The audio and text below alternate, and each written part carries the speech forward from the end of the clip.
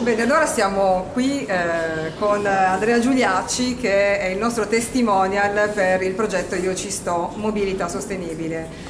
Eh, 11 comuni si sono riuniti nel Saronnese per eh, fare questo progetto eh, che contempla una serie di azioni. Ma Cosa c'entra il clima con la mobilità sostenibile? Eh, c'entra tantissimo perché purtroppo il cambiamento climatico, cioè questo clima che sta cambiando, rende sempre più difficile avere, soprattutto per le città eh, sulla pianura padana, una qualità dell'aria accettabile. Il cambiamento climatico tende a peggiorare la qualità dell'aria. Come possiamo fare per avere una qualità dell'aria migliore? Beh, dobbiamo adottare delle misure per cui nell'atmosfera entrino meno sostanze inquinanti e quindi viene naturale adottare misure anche di mobilità sostenibile perché la mobilità sostenibile ci consente di inquinare di meno e quindi di avere una qualità dell'aria migliore senza poi togliere che tra l'altro questo contribuisce anche a combattere il cambiamento climatico ma prima di tutto ci regala una qualità dell'aria migliore.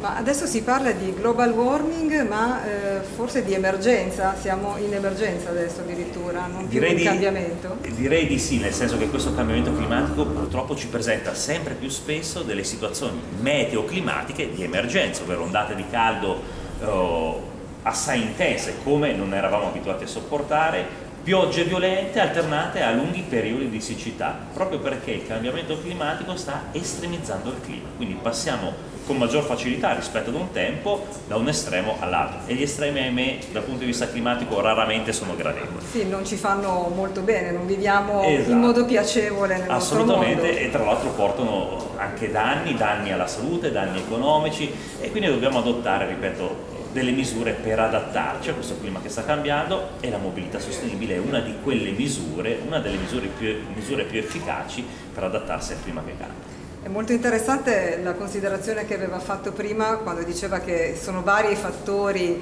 eh, che incidono sul cambiamento climatico, però noi possiamo incidere soltanto esatto, eh, noi con, nostra, con, la nostra azione, quali sono le altre, esatto, oltre all'essere umano che può fare certo, delle perché modifiche. Il clima sta cambiando sia per fattori naturali, il sole che non è vero che emette sempre la stessa quantità di energia, passa da fasi in cui emette un po' di più ad altre in cui emette un po' di meno, i vulcani perché nelle fasi in cui i vulcani emettono tante sostanze nell'atmosfera l'atmosfera tende a diventare opaca ai raggi solari e poi c'è l'uomo con le emissioni di gas serra.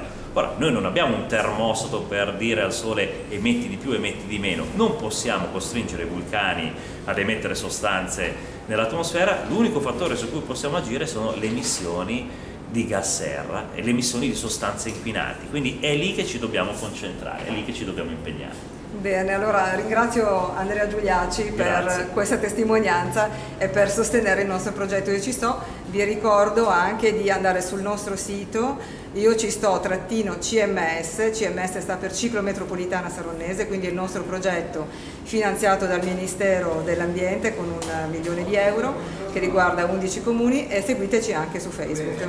Mi raccomando, io ci sto.